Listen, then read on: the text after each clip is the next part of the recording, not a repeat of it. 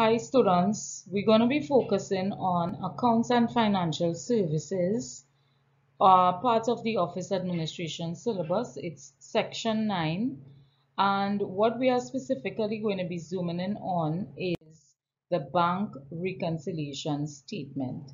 And I know that this is often a topic where you need a lot of practice and it requires a little bit of um, thinking and a little more analysis on your part. And some students often find it a bit difficult.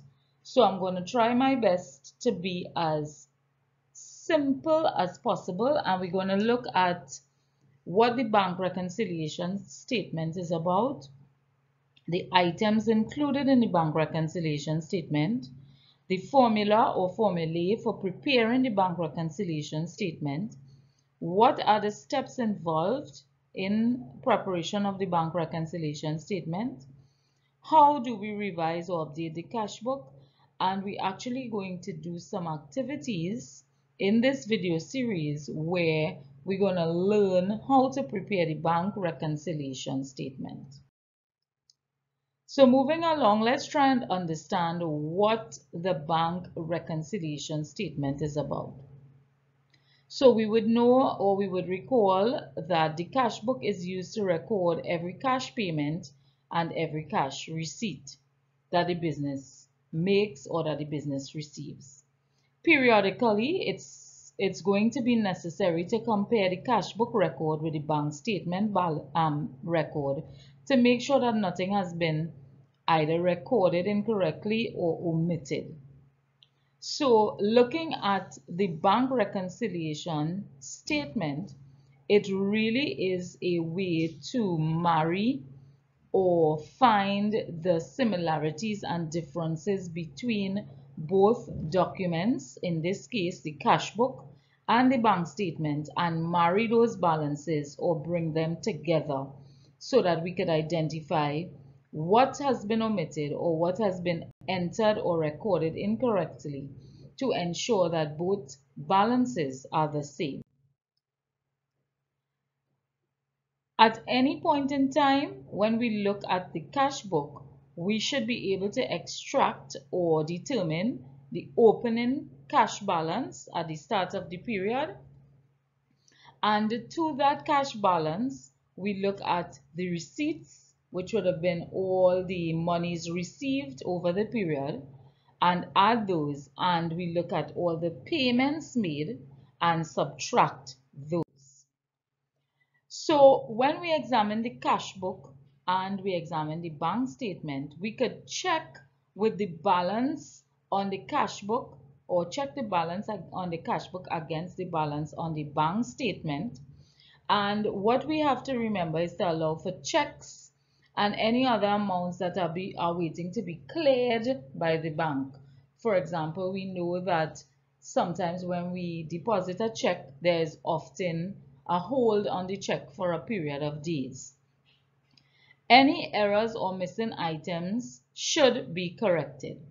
In one way to correct or highlight or find or discover these missing items would be in performing a bank reconciliation, in preparing, sorry, a bank reconciliation statement.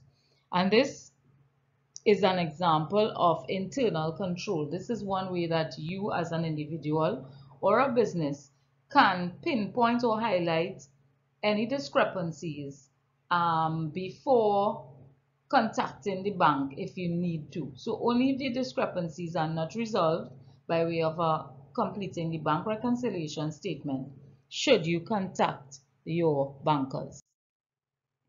So for review purposes, let's just look at the cash book and the bank. So we're looking at the cash account and the bank account. And we are reminded here of the simple law of double entry, which accounts students would know that for every debit entry, there's a corresponding credit entry. So in this case, the debit entry in our bank column of our ledger shows withdrawals or payments and the corresponding credit when we're looking at the bank statement and the cash book in order to perform the bank reconciliation would be the corresponding credit in the cash book which represents a payment. Similarly, credit entries on our bank account will be deposits. Therefore, um, or receipts into our bank or deposits into our bank and debit entries on our cash book would be the receipts, cash received or monies received would be entered on the debit side of our cash book.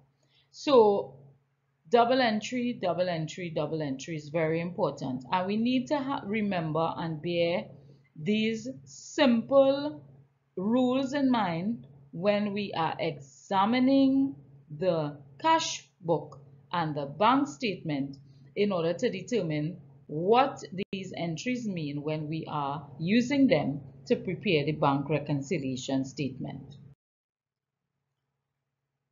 So when we look at procedures for reconciling the cash book and bank statement balance, we look at the bank statement balance and the cash book balance and try to reconcile those. We take into consideration interest paid and received. We also can prepare the bank reconciliation statement by using the cash book balance or by using the bank statement balance. So we can either start with the cash book balance or the bank statement balance. So this brings us to the end of the introduction to the bank reconciliation statement. Remember that the two documents we are going to be examining would be the cash book and the bank statement. We are examining these two documents to see if there are any discrepancies and those discrepancies are going to be used to reconcile the bank statement and cash book balance. And this process is known as preparing the bank reconciliation statement. So in part two, we are going to look at the cash book, the bank statement, and the procedures for reconciling the cash book and bank statement balances.